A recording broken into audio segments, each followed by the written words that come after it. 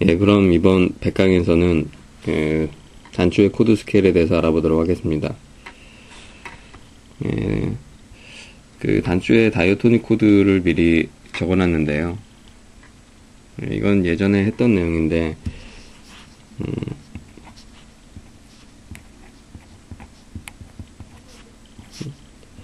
73에서 74강을 확인해 보시면 되겠습니다. 그러면은 그 다이어토닉 코드에 맞는 어, 스케일을 알아보도록 하겠습니다. 일단 처음에 그 1도에서는 그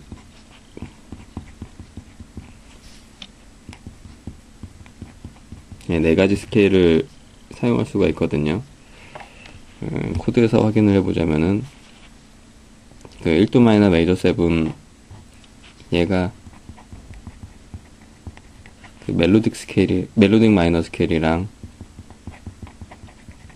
예, harmonic 마이너 스케일에서 나온 코드죠.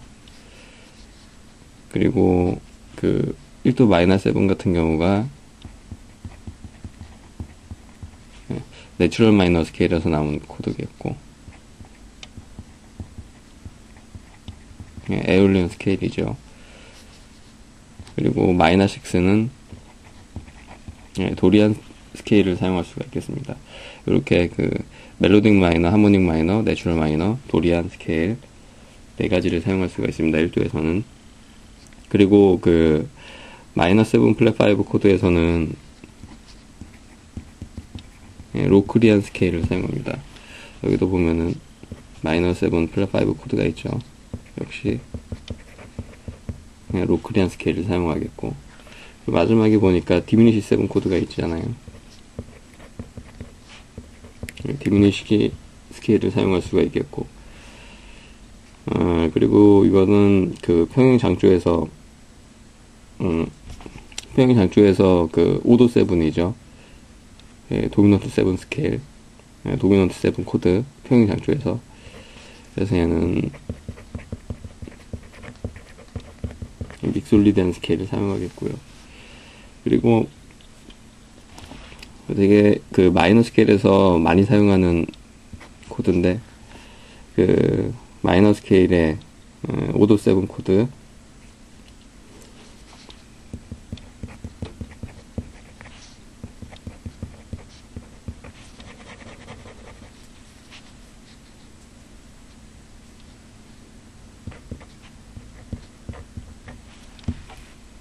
예, 이런 코드요. harmonic minor perfect fifth below라고 읽습니다.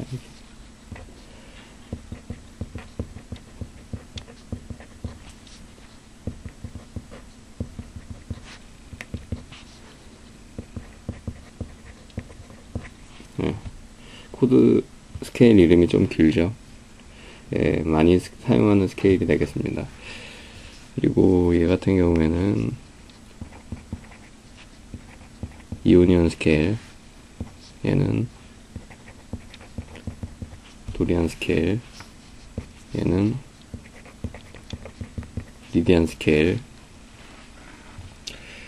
예, 이렇게 코드 스케일을 사용할 수가 있겠고요. 그리고 그 특수한 코드로 분류되었던 애들이 있잖아요. 그 2도 마이너랑 2도 마이너 7 같은 경우에는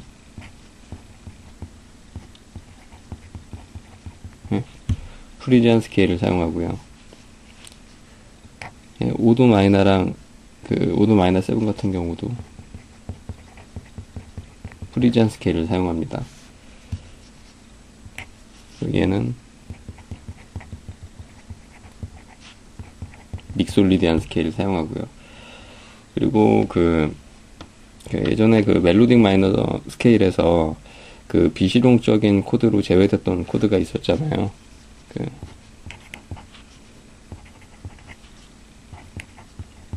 네, 이 코드. 어, 이 코드는 그, 그 플랫 4도가 어, 3도라고 보고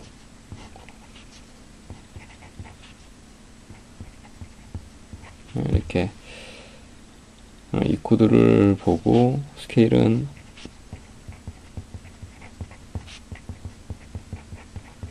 네, altered 스케일을 사용합니다. 예, 이렇게 단조의 코드 스케일에 대해서 알아봤습니다.